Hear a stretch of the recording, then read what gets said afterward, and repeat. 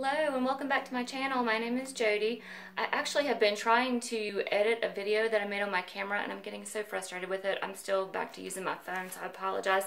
I have the Glow Addict box for May. They also have a Mother's Day box which is a separate box. So this is just the regular box. It's $18.99 a month and it just came in a plain white box this month that's fine with me. Last month they had repackaged, and honestly, I don't care what the package comes in because I throw it out anyway. I'd rather them spend more money on the contents and then send um, a more plain package. So this is $18.99 a month. It's a monthly subscription. You can do it bi-monthly or pay for three months or a full year or even six months. They also have the eye, um, eyes only for $13.99. They have a lower uh, package for $13.99. It's the bag and not the box. And then they have a skincare subscription that's a little bit more expensive that I don't do. So the only one that I do is the eye, eyes only, and then the $18.99. So this has four full-sized items in there, I think. Or is it five? One, two, three, four. Four, five, five. I went to their Instagram and got the prices. So I'm actually wearing the eyeshadow palette today.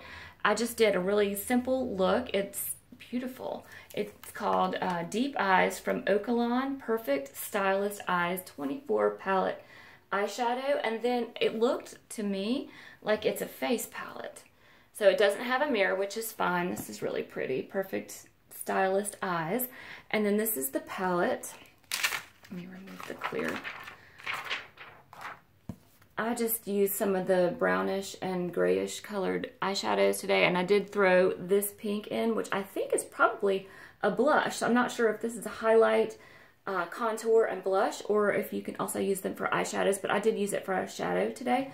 These are really pretty. They are not super pigmented so they're buildable. So I I prefer pigment, but I just love these colors. They're beautiful. So I'll get a lot of use out of this palette.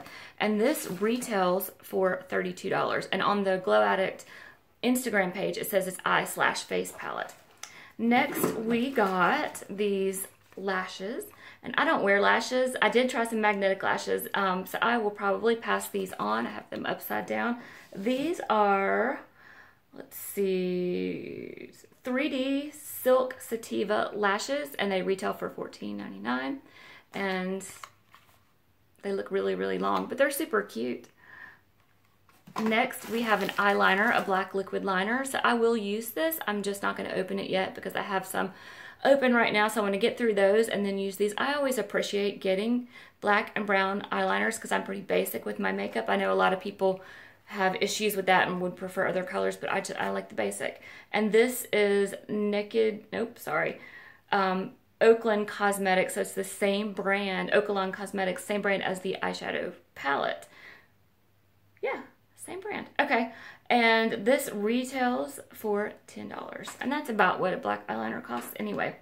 Next is Naked Cosmetics uh, Loose Powder Shadows. And this one is in a silvery blue glitter. I don't know how well you can see that. It's very sparkly and it retails for $14.99 It's a single eye glitter.